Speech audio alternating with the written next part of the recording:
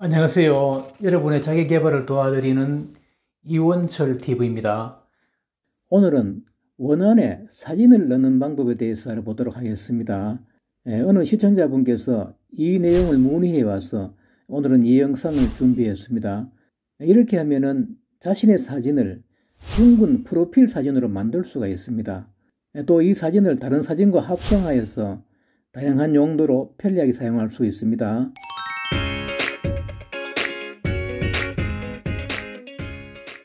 예, 그럼 앱을 설치해 보도록 하겠습니다. 앱은 이렇게 생겼습니다.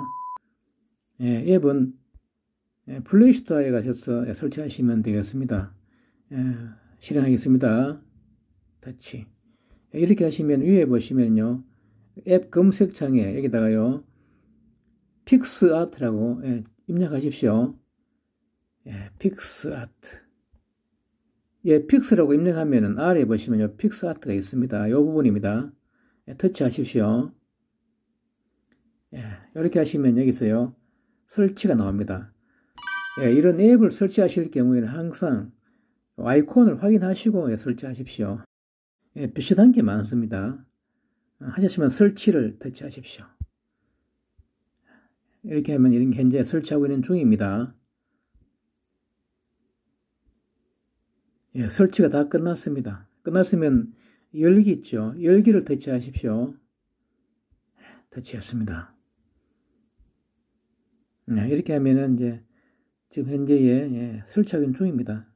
이렇게 하면 예, 이런 화면이 나오는데요. 여기서 계정을 만들어 합니다. 어, 계정을 만드실 경우에는 예, 아래에 보시면 이렇게 세 가지가 있습니다. 카카오톡, 구글, 네, 페이스북인데 아무거나 터치하시면 됩니다.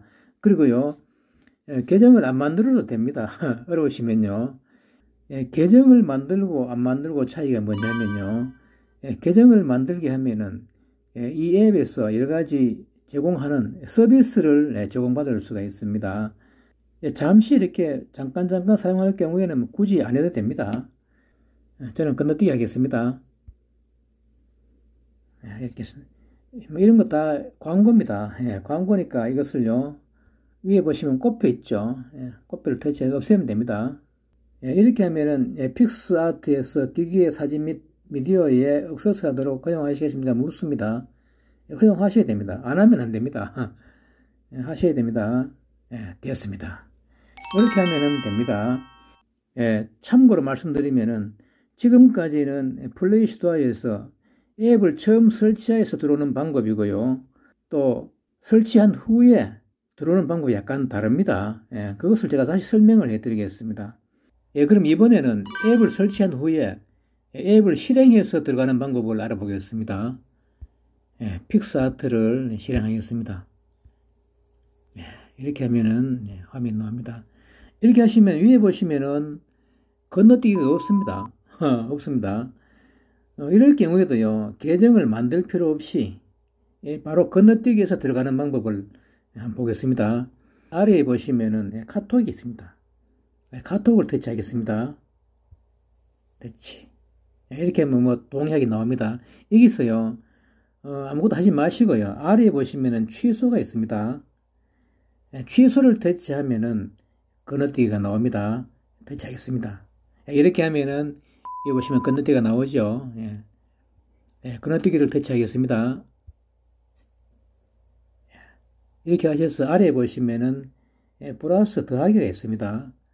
예, 터치하겠습니다. 예, 이렇게 하면은 예, 아까처럼 똑같은 화면이 나왔습니다. 예, 지금부터 여기서요 예, 사진을 예, 원안에 넣는 편집을 하시면 됩니다.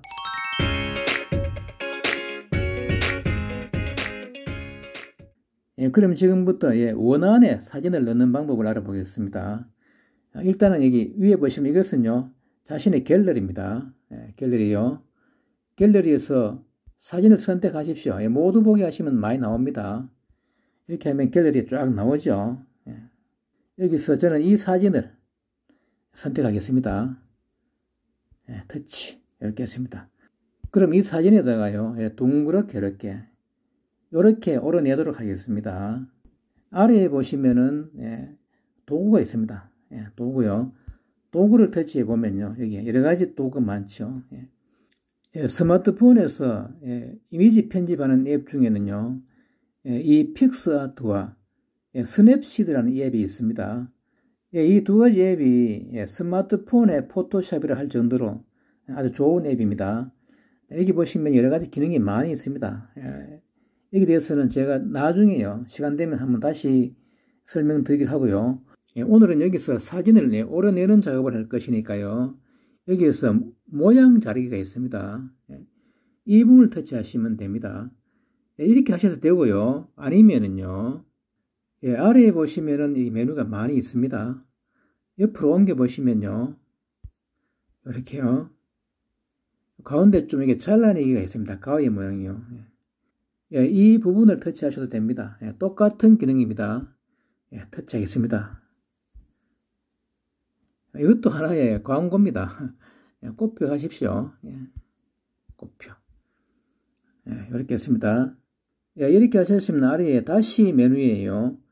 모양 자르기가 있습니다. 예, 모양 자르기를 터치하십시오. 예, 이렇게 하면은 뭐 네모로 할 것인지요. 이렇게 모양이 나옵니다. 저는 여기서 동그라미 자르기 이걸 해보겠습니다. 예, 동그라미 원을 터치하겠습니다. 터치. 이렇게 하면 이게 됐죠. 원이 나왔습니다.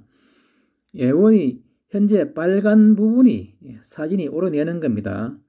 확대하실 경우에는 이 부분을요, 손을 누른 상태로 이렇게 확대하시면 됩니다. 이렇게.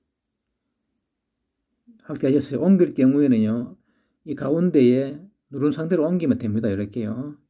예, 지금 이 부분을 누른 상태로 확대 축소하시면요, 이렇게 예, 가로 세로 정확한 정원이 됩니다. 예, 그리고 예, 이 부분이나 이 부분을 눌러서 확대하면은 예, 타원형을 만들 수가 있습니다. 아, 이 부분 한번 눌러보겠습니다. 누른 상태로 이렇게 하면 타원은 되죠. 이렇게요. 예, 지금 현재 편집 작업 내용을 취소할 경우에는요. 위에 이 화살표를 터치하면 취소가 됩니다. 예, 취소 이렇게. 아, 저는 이렇게 맞췄습니다. 이렇게 맞췄으면요. 예, 오른내실 경우에는 위에 보시면은 체크가 있습니다. 예, 체크를 터치하십시오. 아, 이렇게 했습니다. 이렇게 하면은, 예, 지금 예, 원안에 사진을 넣었습니다. 이것은 다 됐습니다. 이것을 지금 다운받으면 됩니다. 예, 다운받으실 경우에는요. 지금 두 가지 방법이 있습니다. 이 부분을 누르는 방법이 있고요. 이 부분을 누르는 방법이 있습니다. 예, 저는 뒤에 화살표를 눌러 보겠습니다. 예, 이 부분입니다. 예, 터치하겠습니다. 예, 이렇게 또 광고가 나옵니다. 광고는 꼽혀 하십시오. 예. 이렇게 하면 어디에 다운받을지 묻습니다. 여기서 저는 갤러리에 다운받기 때문에요. 갤러리를 터치하겠습니다. 예. 이렇게 하시면은 예, 갤러리에 저장되었습니다. 이런 식으로 저장할 수 있습니다. 예, 그리고 예, 다운을 다 하셨을 경우에는 위에 완료를 터치하시면 됩니다. 터치. 이것도 광고입니다. 예, 코피하십시오. 예. 갤러리 한번 가보도록 하겠습니다. 예, 갤러리 터치하시면 되겠죠. 예. 예. 이렇게 하면은 자신의 픽스아트에서 만든 예, 동그란 투명한 사진이 여기에 저장되어 있습니다. 아, 이런 식으로요.